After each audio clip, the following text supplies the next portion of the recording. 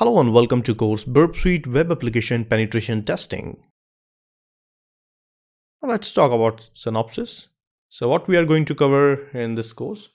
So I've divided this course into five different sections. First of all, in section one, we will learn about the Burp Suite setup in Kali Linux, that how you can set Burp Suite.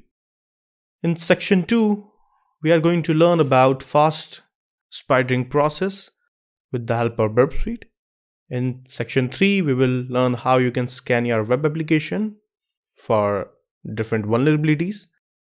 In section 4, we will learn how you can exploit those vulnerabilities with the help of Burp Suite. And in section 5, we will learn how you can generate a report by Burp Suite. Now, if we talk about prerequisite, so you should have basic IT skills and you should also have Kali Linux operating system installed in your machine. So this is all about course overview. Thank you so much for your time and I'll see you inside the course.